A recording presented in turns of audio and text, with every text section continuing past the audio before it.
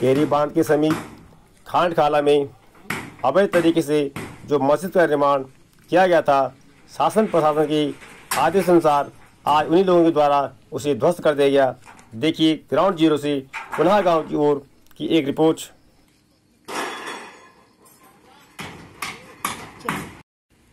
उनियाल जी यहाँ पर तो ये अवैध मस्जिद आज हटवाई गई, इसे ध्वस्त किया गया। इस पर आपका क्या कहना है और कैसा लग रहा है आपको आज? ये अधर्म पर धर्म की जीत है और इसके लिए मैं शासन, प्रशासन और को धन्यवाद देना चाहूँगा। जिस प्रकार से गंभीरता के साथ उन्होंने इस बिंदु को लिया है और साथ साथ में जो हमारा यहाँ पर मुस्लिम भाई है, उसको भी, उसका भी मैं साधुवाद, धन्यवाद देना चाहूँगा।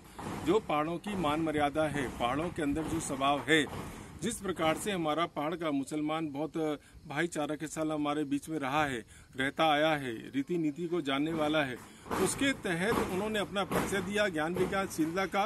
और जो आज इस प्रकार का हमें जो 20 सालों से हम इसमें संघर्ष लगे थे, हमारे तमाम हिंदू जो संगठन के भाई हैं, जो हमारा सुम तोपाल जी हैं, हमारे यहाँ पर रघुवीर जी, रावत जी हैं, तमाम ये लोग भी इस काम में लंबे समय, यशपाल सजवाण जी बड़े लंबे काम से इस काम में हमारे जो संगठन पूरे लगे रहे हैं।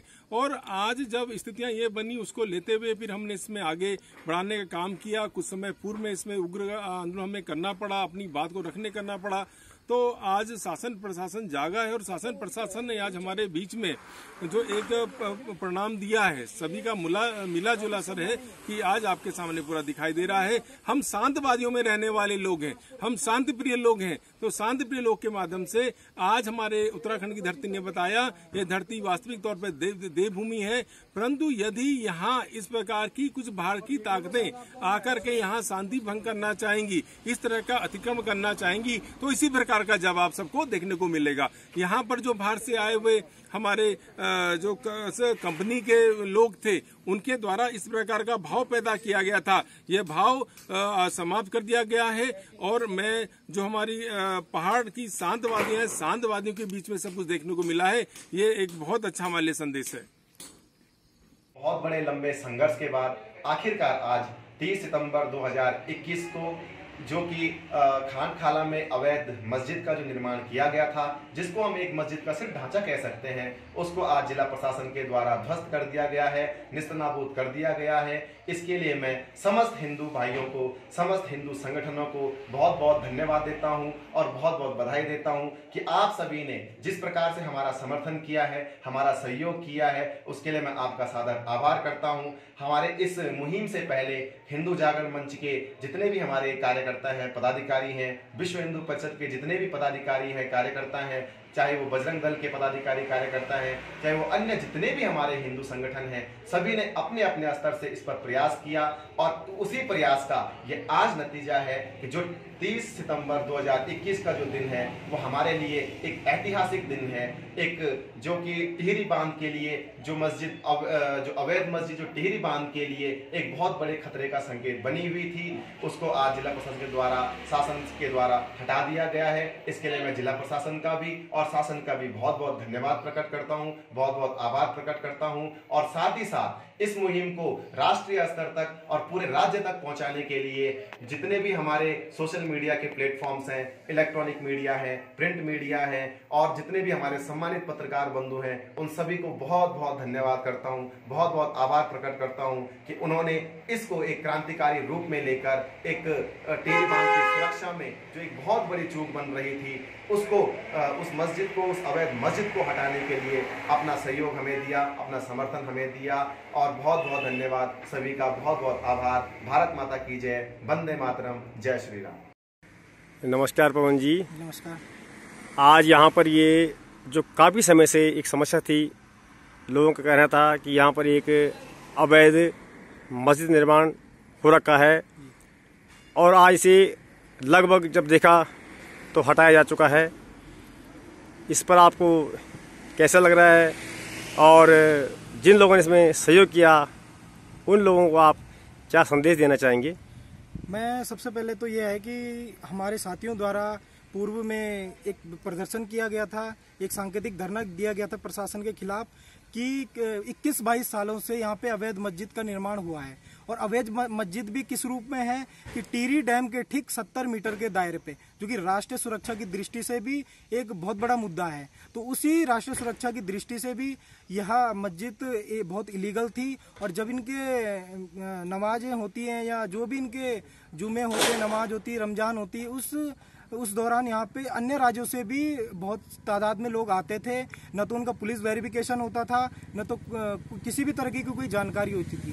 तो राष्ट्रीय सुरक्षा की दृष्टि से देखते हुए हमने इस मस्जिद के खिलाफ कुछ दिन पूर्व एक सांकेतिक धरना दिया था, जिसमें हमारे काफ़ी सारे साथियों ने हमारा बहुत समर्थन किया है। हमारे डॉक्टर प्रमोद इनियाल जी हुए, अक्षत पवन बिजलान जी हुए, हमारे रोहित रावत प्रमोद शाह, कुलवीर, काफ़ी सारे ऐसे साथी थे जिन्होंने हमारे इस चीज़ में समर्थन समर्थन किया सहयोग किया और मैं उन सभी लोगों को धन्यवाद कहना चाहता हूँ जिन लोगों ने इस राष्ट्रीय सुरक्षा के मुद्दे को एक अंतर्राष्ट्रीय राष्ट्रीय स्तर पर पहुँचाया और हमें इस कार्य को सफल करने में एक अपना आशीर्वाद के रूप में सहयोग दिया। अच्छा मैं आपको रोकना चाहूँगा। शासन प्रशासन के द्वारा आपको कितनी मदद मिल पाई है? शासन प्रशासन को आप क्या कहना चाहेंगे? शासन प्रशासन को मैं यही कहना चाहता हूँ कि अवैध मस्जिद आज से ही अवैध नहीं थी। ये अवैध मस्जिद लगभग 21-22 सालों से अवैध थी और अवैध थी आज भी अवैध है। तो ये ज्ञापन पे ज्ञापन कई अनुसांगिक संगठनों द्वारा ज्ञापन पे ज्ञापन दिए जा रहे थे, लेकिन प्रशासन के द्वारा किसी भी तरह की कोई कार्यवाही नहीं हो रही थी। तो हमें मजबूरन एक ऐसा धरना करना पड़ा जिससे प्रशासन को भी प्रशासन को भी होश आए और इस राष्ट्रीय सुरक्षा के मुद्दों में उनकी आँखें खुले। तो इसलिए हमने प्रशासन से हमारी नाराज़गी भी ये थी कि इतने सालों से जो अवैध मस्जिद थी वो आज तक क्यों क्यों नहीं हटी? तो इसी लड़ाई को चलते हुए हमने यहाँ सांकेतिक धरना दिया था, प्रदर्शन किया था और लोगों ने बढ़ चढ़ के उसमें हमारा सहयोग किया। इस राष्ट्रीय मुद्दे को एक अंतर्राष्ट्रीय स्तर पर पहुँचाया और ये राष्ट्रीय सुरक्षा के लिए बहुत अच्छा संदेश है। और मैं आगे भी लोगों से यही कहना चाहता हूँ कि जहाँ भी आपके राष्ट्र में कहीं भी किसी भी तरीके की कोई आँच आए तो आपको लड़ना चाहिए, संघर्ष करना चाहिए। क्योंकि संघर्ष हमें करना होगा तभी कुछ हो सकता नहीं तो कुछ नहीं होगा।